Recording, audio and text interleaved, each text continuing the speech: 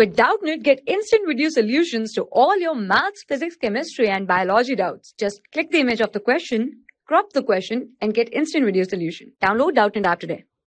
Hello. In this question we have been given the first and second ionization enthalpy of metal are 496 and 4560 kilojoule per mole respectively. How many moles of HCl and H2SO4 respectively will be needed to react with 1 mole of metal of the metal hydroxide? Right. So we have been given that first ionization enthalpy is equals to 496, right? Second is given to us as 4560. This is a high jump, right? This implies, this implies that this is first group element. Since after removal of one electron, the first group basically achieves octet, right? Minus 1 electron will achieve octet and after, uh, removing an electron from octet status will require a lot of energy.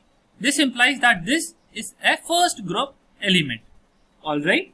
So we basically have a first group element.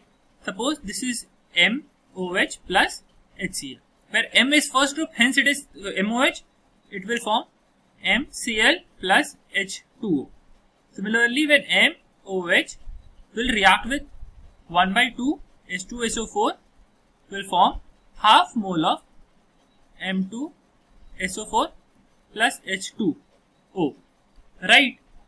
So the answer of this question is 1 and half which is 1 and 0.5 mole right. So 1 mole of MCl is formed, half mole of M2SO4 is formed.